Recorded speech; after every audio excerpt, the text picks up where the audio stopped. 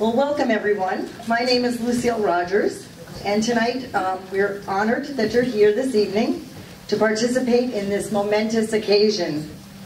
On behalf of our president, Mrs. Glenda Alfred Atkins, right here at the front table, and members of the Okaloosa County Democratic Black Caucus, we would like to welcome everyone to our first annual Black History Dinner. At this time, I would like to introduce our Master of Ceremony, for the evening, Mr. Thom Gossom Jr. Thom is a local resident of the Fort Walton Beach area. He's married to Councilwoman Dr. Joyce Gilly Gossom, and they have a son, Dixon.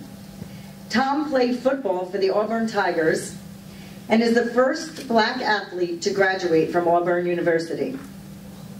Among his many accomplishments, Mr. Gossom is an author, a consultant, and a well-known television and movie actor who performed roles in Drop Dead Diva and Fight Club, among others.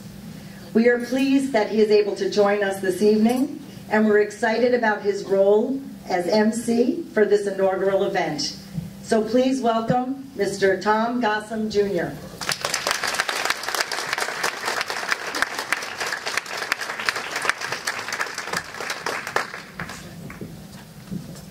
Good evening. Good evening. How we doing?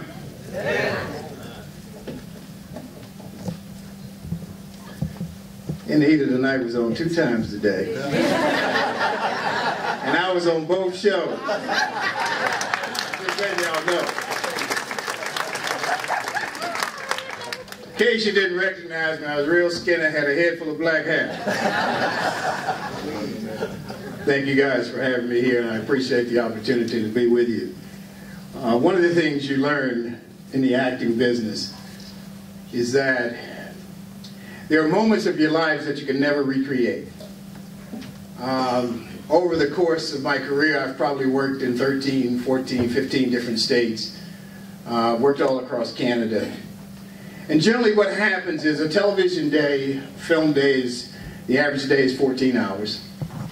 And so you're there a long time. Last, I was working on a show in December over in South Carolina. I went in at 4 o'clock in the afternoon and we would get off at 7 o'clock in the morning.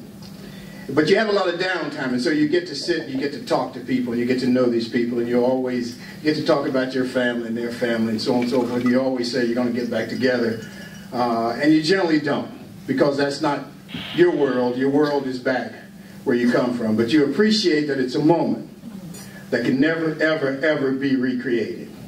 This is such a moment. Anytime you do the first of anything, it's an incredible moment in your life. You can have another one of these next year, but it won't be this one. You could try to have another one tomorrow, and it won't be this one. This is a special occasion in our lives, and I appreciate you guys allowing me to share it with you. I'll tell you a quick Hollywood story about moments of your lives. It involves Chris Rock, Morgan Freeman. I don't know if you guys saw the movie Nurse Betty, where they work together. What I'll tell you about Chris Rock is as an actor, he's a great comedian. But, uh, come on now, come on, keep up with it. Uh, they're in this, they, they worked together for three months, got really, really close, promised that they were going to get back together, and they didn't, like most of us do. And about a couple of months after it was over, Chris Rock's grandfather died.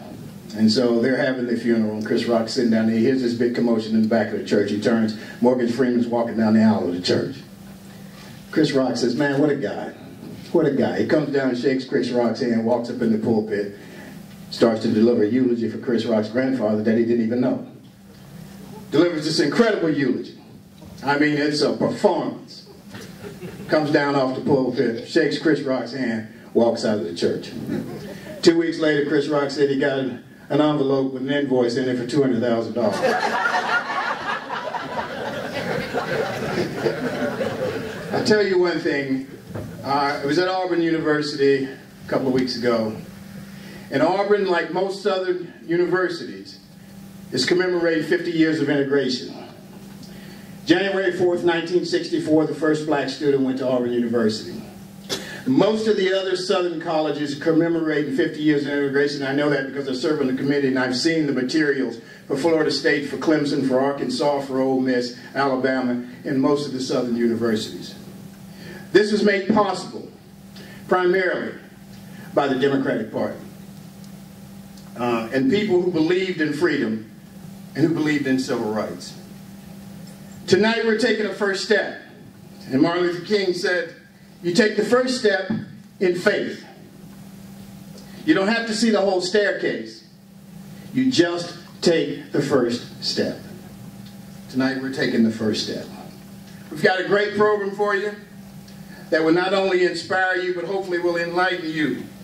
So it should encourage all of us to continue to recognize the contributions of black Americans to the American way of life. So before we get started, I'd like to ask all of you, all of us, including myself, to please be respectful.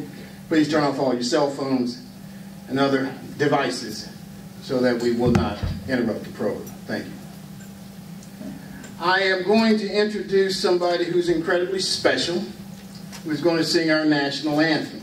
Her name is Miss J.R. Lewis, and I'll tell you a little bit about J.R. She started singing at the age of four. She became an instant hit in her community and in the local area. She's being invited to ball games, churches, plays, malls, and festivals. At age six, she entered a regional music contest called Junior FACCS, F-A-C-C-S, for the Florida Association of Christian Colleges and Schools. It was a scholarship-based music competition. She received a superior rating making her one of the first six-year-olds to earn a rating that high. JR is currently the number one ranked junior FACCS solo vocalist in the state of Florida.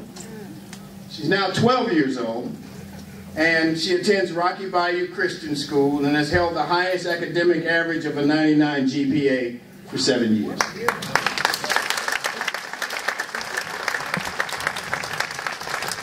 She is one of the Emerald Coast's premier young vocalists She's warm and spunky, on-stage person, compliments her strong, rich, classic alto voice. Her single, Turn the Radio Up, encouraged kids of America to never give up on their dreams. I present to you J.R. Lewis to sing the national anthem.